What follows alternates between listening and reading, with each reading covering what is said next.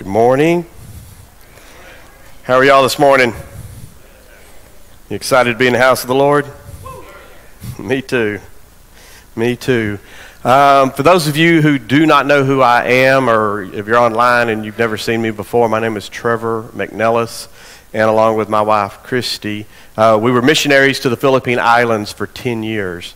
And uh, we recently came back. Uh, God's kind of relocated us back to the U.S. But this church was one of our very first supporting churches and was one of our very last supporting churches.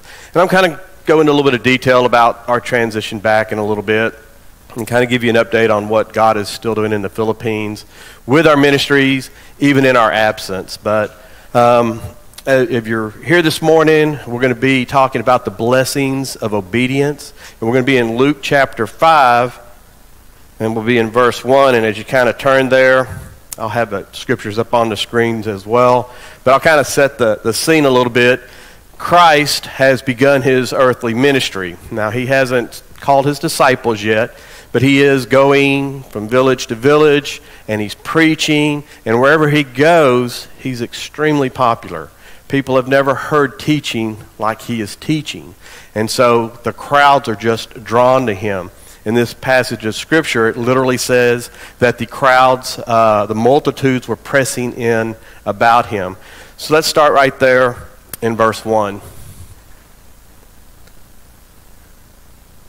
Have I got it? She can do it? Okay. Am I doing it or are you going to do it? I, okay. Okay. All right, so we'll start out there in verse 1. So it was as the multitude about him to hear the word of God that he stood by the lake of Gennesaret and saw two boats standing by the lake. But the fishermen had gone from them and were washing their nets. Then he got into one of the boats, which was Simon's, and asked him to put out a little way from the land. And he sat down and taught the multitudes from the boat. When he had stopped speaking, he said to Simon, Launch out into the deep and let down your nets for a catch. But Simon answered and said to him, Master, we have toiled all night and caught nothing. Nevertheless, at your word, I will let down the net. And when they had done this, they caught a great number of fish, and their net was breaking. So they signaled to their partners in the other boat to come and help them. And they came and filled both the boats so that they began to sink. When Simon Peter saw it, he fell down at Jesus' knees, saying, Depart from me, for I am a sinful man, O Lord. For him and all who were with him were astonished at the catch of fish which they had taken. And so also were James and John, the sons of Zebedee, who were partners with Simon. And Jesus said to Simon, Do not be afraid. From now on you will catch men. So when they had brought their boats to land, they forsook all and followed him. So, what we see in this uh, passage of Scripture are several really simple acts of obedience. They seem almost insignificant. It's not like where Moses went and stood before Pharaoh and demanded Pharaoh release his people. You know, I mean, that just took incredible courage. But Moses was obedient. And in this passage of Scripture, we see several times where Peter himself is obedient, but you just kind of almost read over it because it seems so simple. But why is it important for us to be obedient to God? I mean, it seems kind of like a dumb question. I mean, we're just supposed to be obedient, right? In all things, big and small. But we often resist when God calls us to do simple things. So I'm going to share with you this morning three reasons why it is so important for us to be obedient to God in all things, big and small. And the first is obeying God in the little things is an important step in receiving God's greatest blessings. Now, imagine if Peter had said something uh, like this to Jesus Jesus, you seem really popular. You've got this big crowd of people pressing in around you. But me and my companions, we've been fishing all night. We're tired. We just want to clean our nets. We want to go home, have a glass of wine, catch the evening news, update our Facebook status. So if you don't step off, the only thing going in this lake is going to be you. Now, he doesn't know that Jesus can walk on water. Well, not yet, anyway, right? That's coming. If Peter had said anything other than yes to Christ, he would have missed out on the most incredible fishing experience of his life. But because of Peter's obedience, the Lord arranged a miracle that he would not soon forget. Often God's greatest blessings come as a result of simple acts of obedience. God's laid it on your heart to invite somebody to church or to your life group, or maybe just called you to witness to them.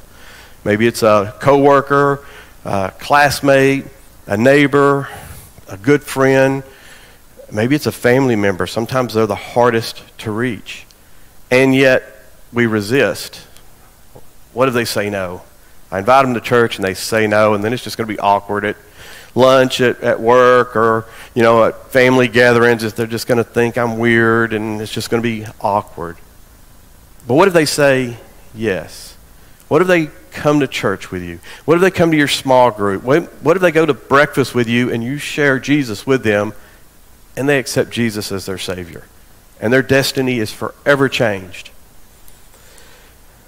I'm going to share a couple of stories this morning from the mission field. And the first one is about a friend of mine named Michael Giganto. So that's Michael Giganto up there in the picture. Um, so I, I, know some of you may not know our whole story, but God called us to the Philippines uh, back in 2010. We arrived in 2011, and we worked out of Manila in the beginning. And so, uh, about 2013, we started working in some southern islands as a result of a typhoon that passed through. And I've shared that before, so I'm not going to go into any detail. But while we were doing typhoon relief work on this island called Bantayan in the southern part of the Philippines, God put me uh, in connection with a new partner, Pastor Dennis Mendoza.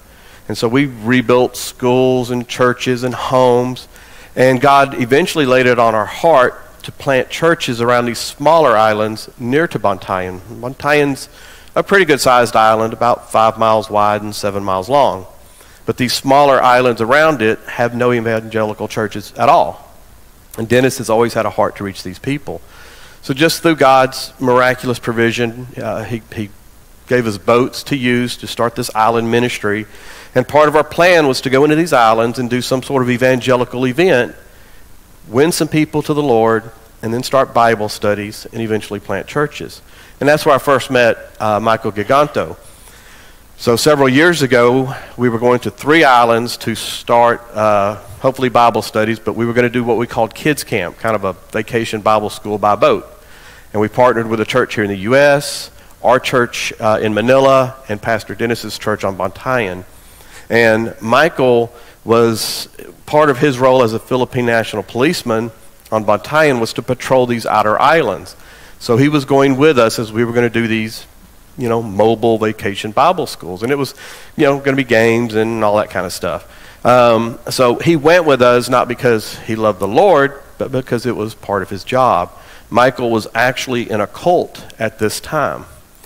So the first island we go to is the farthest one out. It's about an hour and a half by boat from Bantayan itself and uh, it's called Daong. And so we do the camp there.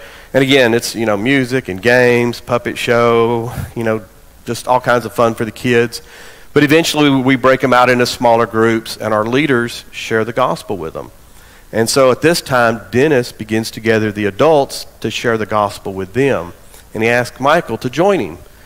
Now, Michael's been with us long enough in some of our meetings, and he knows why we're there, so he has to know what's coming and he could very well have said, you know, Pastor Dennis, I'm here in an official capacity. Thanks, but no thanks. I'm going to patrol and you go do your thing. But he said yes. He was obedient. He went, he listened as Pastor Dennis and my other partner, Pastor Jermaine, shared the gospel to these adults, and he accepted Christ as his Savior because of a simple act of obedience. He came out of a cult, brought his family out of a cult. And then he gets this new assignment uh, as part of his normal duties. He's also tasked with doing the drug awareness campaign on the island of Bantayan. And there's 25 communities on this island. And he needs to go into each one of these communities and do this drug awareness program. Well, he asked his chief if it's okay to bring his Christian friends from this church, Bantayan Baptist Church, to come and do a good moral values program as well. And so his chief is like, sure, why not? So I've been with him many times as we've done this, and this is a picture of, of, of one of the events that we did. We go into the community, and each community has a big open basketball court, and people play basketball. And anytime somebody comes in to speak, like the government, uh, anybody really, because there's not TV, you know, they don't have all the distractions that we have here in the U.S., so people are very communal. They all come out to see what's going on. And so I've been there as Michael has done his drug awareness speech, and he goes for about 20 or 25 minutes talking about the dangers of drugs and don't do drugs and don't sell drugs. And then he starts talking about Jesus and how Jesus changed his life. And I start listening to this guy who came out of a cult start preaching. And then he invites Pastor Dennis up, and Pastor Dennis shares the gospel. And as a result, we have seen literally hundreds and hundreds of people saved because of his one simple act of obedience. And there you can see these guys, they're praying in that picture right there, all because of one simple act of obedience. So the second reason is our obedience will always benefit others. Think about how many people were blessed by Peter's simple act of obedience. So the crowd before is all pressed in around him the people in the back probably can't see Jesus. They probably certainly can't hear him. So Peter says, You know, Jesus, I mean, excuse me. Uh, Jesus says, Peter, take me out in your boat. Take me away from the shore just a little ways. So again, Peter just simple act of obedience. Puts him in his boat, sets out from the shore a little ways. Now the crowd can line the shore. Everyone can see Jesus. Everyone can hear Jesus as he's teaching. Jesus, the Son of God, who is both man and God at this time, experiences, you know, as a human, he, he experiences pain and hunger and tiredness. He's able to sit for a little bit. The Son of God is able to sit and rest as he teaches because of a simple act of obedience. Peter's friends, his fishing companions, had the most incredible fishing day of their life. They took in two boats so full of fish that they nearly sank. And more importantly, they had the opportunity to witness the Lord's supernatural provision. God often rewards others as a result of our obedience. I'll share with you another story about some other friends of mine. The people in the picture, besides me and my wife, are Jermaine Nation and his wife, Alan. That is who God put in our lives when we first moved to the Philippines to partner with to start uh, Life Point Church. And Jermaine uh, did not want to be a pastor. He, he had grown up in a family of pastors. His father was a pastor. He had several uncles who were pastors. And in the Philippines, being a pastor is a hard life. Philippines is a very poor country. Most churches are never able to fully support their pastors, so they have to, to work full time and pastor full time. There's so much uncertainty in their lives, and it's always a struggle. And Jermaine grew up in that. And so he had no desire to do that. So just before they began to plant Life Point Church, Jermaine was working for one of the largest companies in the Philippines, making great money. He's engaged to this beautiful woman, Alan. She works for one of the largest banks in the Philippines they're living the Filipino dream. I mean, they're planning to get married, have a house, travel, cars, do everything that they could, you know, possibly dream of and want to do.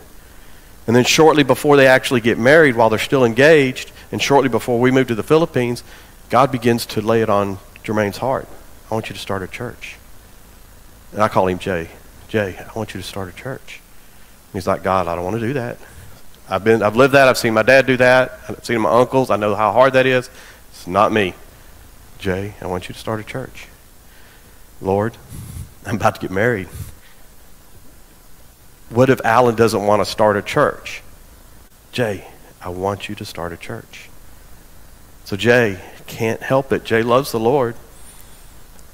Begins to pray earnestly, and then he goes to talk to his future wife, you know. But he's, he's afraid. What if that's not the life she wants? But he shares with Alan, you know, God is calling me to plant a church. here in Antipolo City, which is just outside of Manila. And uh, he's like, What do we do? She said, You be obedient. You start a church. We'll still have my income. We'll be okay. We may have to cut back on a few things, but we'll be okay. So they start planning Life Point Church, start meeting in small groups, having some events, and then they launch it. And a couple months later, me and Christy move there. God puts us together with them, and we start working with them to help grow it. So, church is growing rapidly. We're going to two services. We're having thir- three to 400 every week and doing all kinds of outreaches, uh, seeing lots of people won to the Lord. And then God begins to speak to Alan quit your job, serve alongside your husband. Their only guaranteed form of income. And she does. And God continues to bless. They have built a new house. They have cars, not new cars, but they have cars. They have income. And they're serving the Lord, and they are seeing so many people come to know the Lord because of their obedience. Most of the people in our church that attend Life Point Church in the Philippines are first generation believers, over 90%. So these new believers being won to the Lord, and now those new believers are winning their friends and their family members to the Lord because of their simple act of obedience. We've seen husbands who were alcoholics and beat their wives now serving as small group leaders in our church baptized, come to know the Lord, and serve them earnestly. Have gone with us many times um, to do missions work in the mountains around Manila and in other places in the Philippines because this couple's simple act of obedience. Often our obedience will benefit others. And then, thirdly, if we obey God, we will never be disappointed. Do you believe that? If we obey God, we will just simply be obedient and do what God calls us to do, we'll never be disappointed. Luke chapter 11, verse 28 says, More than that, blessed are those who hear the word of God and keep it. Those who are obedient to God, listen to God, read God's word, and then are obedient to what God is calling them to do will be blessed. Peter no doubt assumed that Jesus' fishing instructions were going to be a complete and utter waste of time. On this lake, you catch fish at night. It's a deep lake.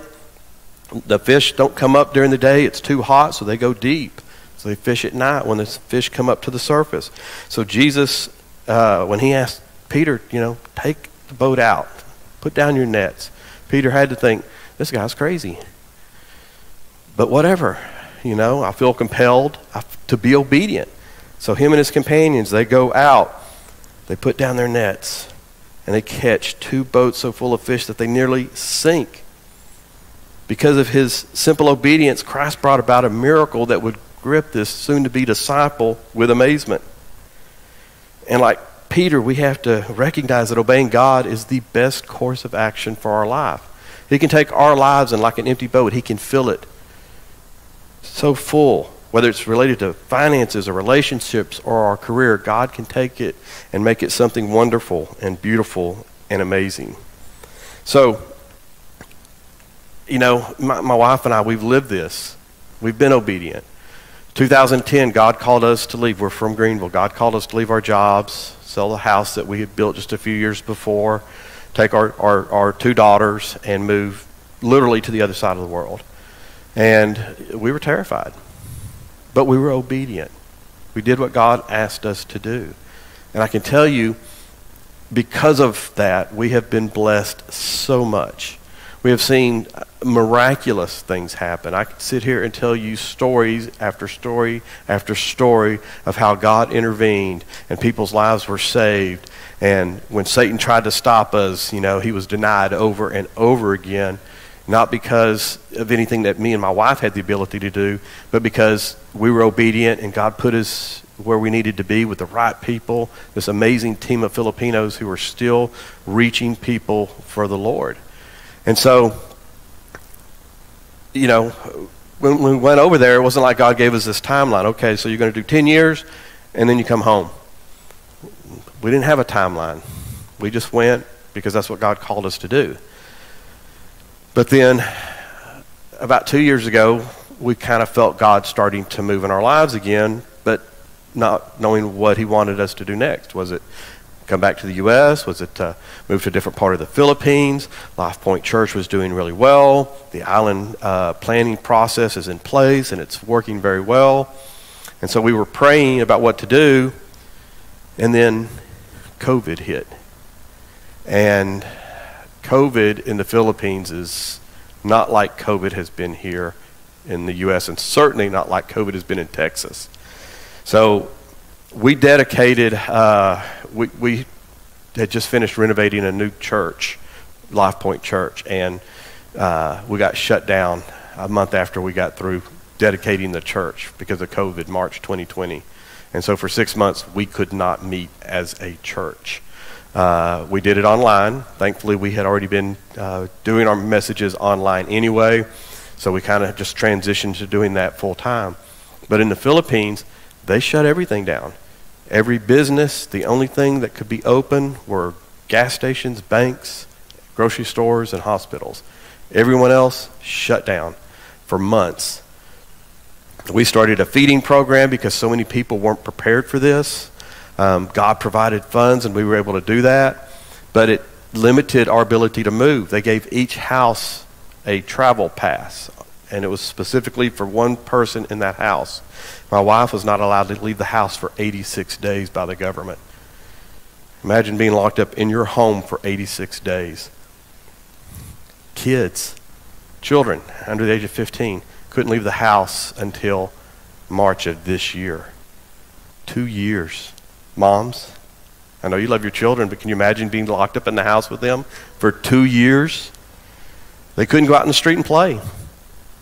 If people were caught outside of their homes, they were taken to a detention center. Where for 12 hours they were forced to stand in lines and wash their hands and practice putting on a face mask and taking it off and all kinds of these silly things to teach them to be obedient. Not in the good way but you know like the government telling you this is how it's supposed to be.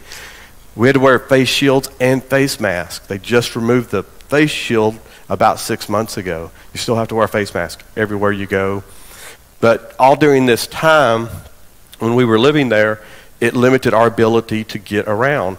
Pastor Jermaine, who's the, the primary pastor of our church, I couldn't even go into his neighborhood because my pass wouldn't let me through the checkpoints, the manned checkpoints, which there were three of them just to get over to his side of town, um, to plan with him. But God had already put somebody in our lives to start taking my place uh, a guy that I had taught in our Bible college over there who was actually Jermaine's cousin's husband, who had been working with one of their uncles as a uh, part time pastor somewhere else. Lives in the same neighborhood, great with technology, so they began to improve on our online presence. And God just kind of kept doing these things, but I couldn't go to Bantayan. Filipinos, nobody could travel from island to island, much, you know, couldn't go from city to city or island to island. They've just now started to allow travel back. They just opened up the country to tourist again. So, all during this time, we had to step back and just, you know, talk on the phone, Zoom chat, you know, FaceTime chat, Skype chat with our partners in different places. And it's, it, was, it was okay. It was nice to be able to do that, but it wasn't the same as being there. But what we started to see was that God began to lift up these leaders that we had been training, and they began to take over these roles that we had previously held. The plan all along had been to go and start the ministry and then turn it over to the nationals. We just weren't ready to let go of it. And then COVID hit, and God said, It's time to turn it over. It's time to let it go. So, to give you an idea of how our ministries are faring, so we, we made the decision to come home. God provided in incredible ways. We've come back. We're teaching at Greenville High School. We've switched mission fields, and I'm telling you, Greenville High School is an incredibly huge mission field. Um, I feel weird this morning because I don't have my Bible with me because it's sitting on my desk in my classroom. And I read it when my kids are doing work in, you know, on their own. And I have kids look and go, Is that the Bible you're reading? I'm like, Yeah. And they're like, That's kind of cool. It's like, Yeah, it is. I teach world history, so we talk about religion a lot. They know I'm a pastor, so it's okay. Um, God's given us some opportunities, and we're going to continue to work and reach kids wherever we're at. But to give you an idea of what's going on in the Philippines, this is Pastor Dennis uh, Mendoza, our partner on Bantayan Island, and his wife, Morena. And they are continuing the church planting process. We built a training center not too long after that typhoon passed through, and we came up with this plan to start churches. But to do that, we needed to train people. So we built what we call the Timothy Training Center. And so it is a training center where we can train men and women to help us plant churches and do Bible studies and eventually pastor them uh, and turn the work over to them. Uh, the guys up in the right hand corner of that picture, all of those men finished the program. That was our first batch.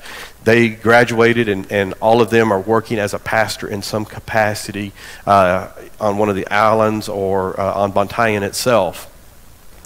And this is yesterday. This is our most recent batch of graduates that just graduated from the training program yesterday. Two years of intensive training.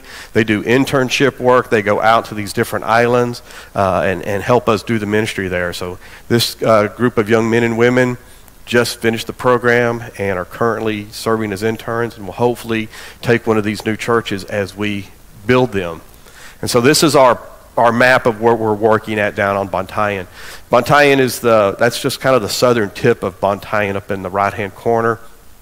So it's a pretty good sized island, like I mentioned. These other islands are much smaller, have populations from just a few hundred to just a few thousand.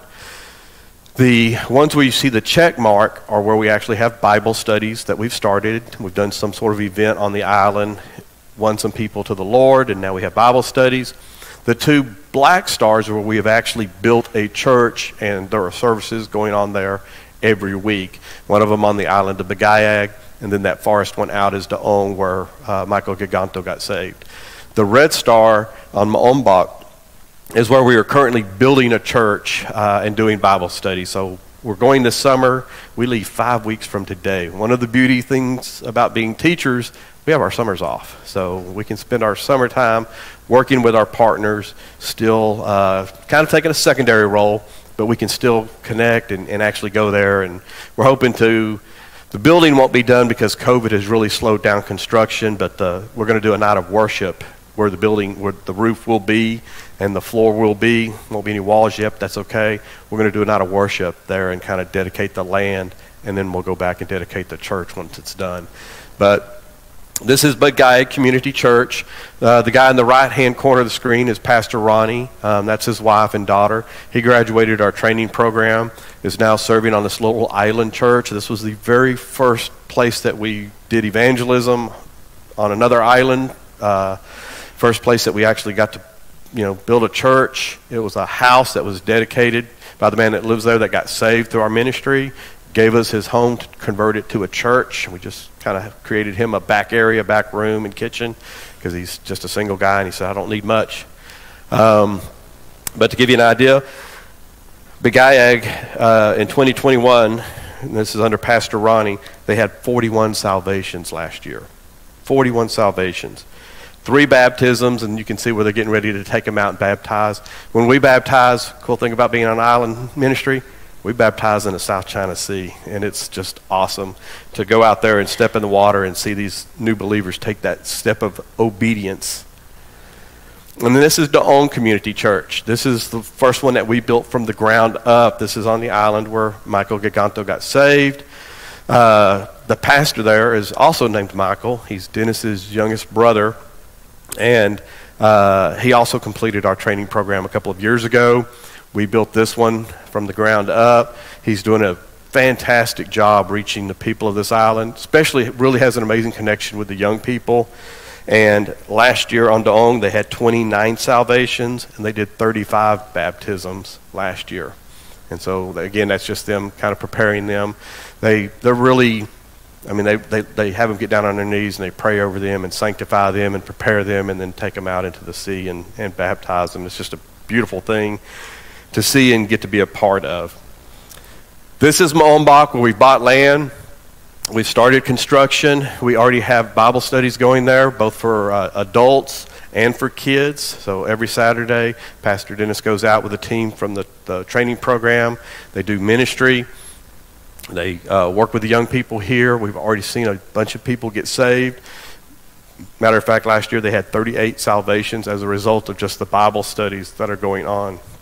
So hopefully uh, by June we'll have the top on the on the building and we can you know have our night of worship. And uh, again on these islands there's no electricity so we do things with generators but you start playing music and I mean people are just it's like a you know a bug drawn to the light at night you know they just they, people come out of their houses and they begin together and we just want to show that you know we care and that we love them and you know that there's an opportunity here to have community and have a relationship with christ.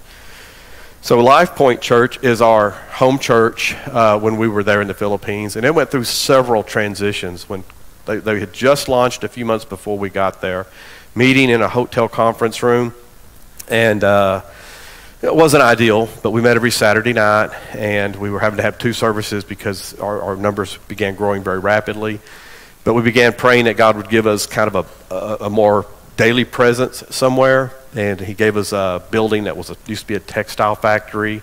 We converted it, and uh, it was it was great for about five years, maybe a little over five years, before the building fell into some problems. The, the owners of the building fell into some problems, and we got word that they were going to be foreclosed on. So we grabbed our stuff and moved out so our stuff wouldn't get caught up in their stuff. And uh, we ended up in a covered basketball court that belonged to one of the church members of Life Point Church. And you would think, oh, yeah, okay, so now you're meeting out in the hot air, covered basketball court. You know, that doesn't really feel like church. People aren't going to go to that.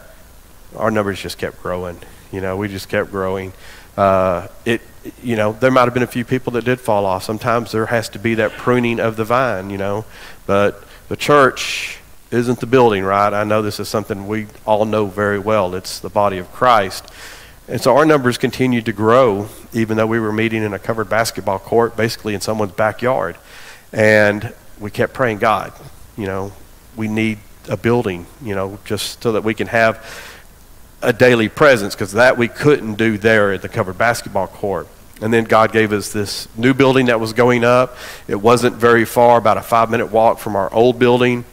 And the top floor of this new building wasn't finished out. And they made us a great deal so we could even go in and finish it out the way we wanted to do it.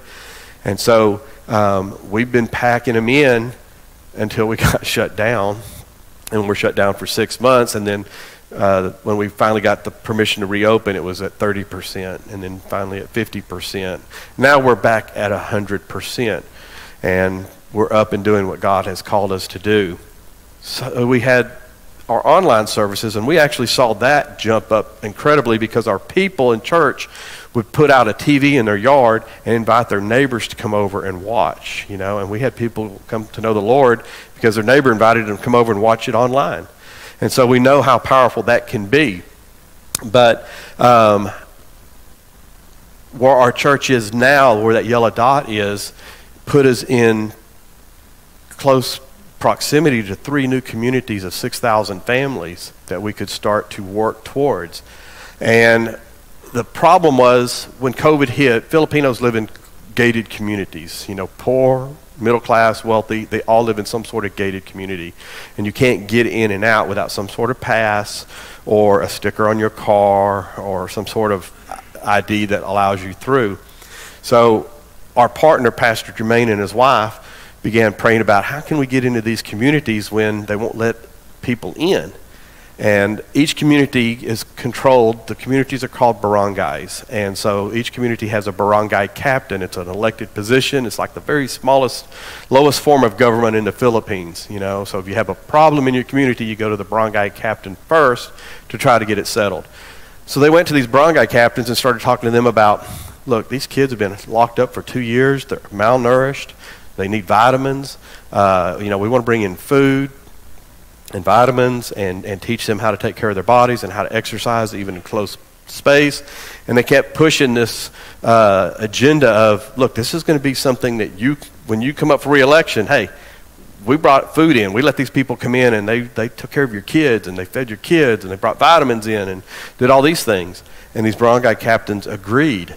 So we did a, a Christmas project offering out of our, our church family fellowship down the road and raised money so that we could start financing this and, and providing food to these families, and we're not feeding all 6,000 families, but we have gone in and identified families that were open to having us come in and do this and also do a Bible study in their home while we were doing it. Now that the Philippines has kind of opened up a little bit, we started gathering them at our church on Friday mornings. And as of uh, several uh, of these have come to the church, they, they go through a Bible study in small groups, but they're starting to come back to church for the regular service on Saturday nights. And just last night, they had five new parents attend, and four of those accepted Christ as their Savior. Just, you know, to give you an idea. Last year, our church had 44 salvations just through our worship experience. We did food relief, uh, had 139 salvations. We do a yearly Meet My Kaibigan, Meet My Friend party. That's kind of an outreach that we do with our small groups. We had 229 guests come to that and 139 salvations as a result of that. So God is still moving through the ministries that we just were blessed to be a part of starting. You know, they're growing.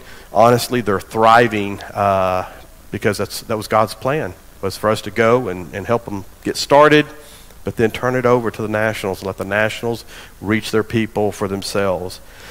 And so the, the last thing I want to share is, as a, as a missionary, as a person, uh, probably one of the greatest things that could happen to you would be to have a boat named after you. And so this is one of our boats. These are the type of boats that we take out uh, to the, do the island ministry, and Pastor Dennis has to get them repainted every couple of years. And it had, I think it had Family Fellowship's name on the side of it before. They painted it and put my name on the side, which I thought was really cool. You know, you've made it big as a missionary when you get a boat named after you. But uh, again, I just want to thank this church for partnering with us. You were with us from the very beginning. And uh, Pastor Jimmy, you know, I know he's he's not here. I'm filling in for him. I'm the substitute today. Um, but I, am thankful for the opportunity to get to be back here with you and kind of share with you, you know, our story about coming home and how God is going to continue to use, you know, what y'all did in supporting us as we help to, to launch these things will have eternal dividends. I mean, these things are going to continue to happen. People are going to continue to come to know Christ in the Philippines because you gave and helped churches get started. And so I know it seems, you know, like a trivial thing when God asks you to give to missions, you know, and you're like, well, I, you know, I can't give much, but uh, yeah, sure, I'll give a little. But you have no idea what kind of impact that will have. And when so many different people give what they can, it adds up. And you'd be amazed at what we can do with very little in the Philippines. And we just want to thank you guys for that. So, uh, with that, I'm going to close this in prayer, and I'll have the worship team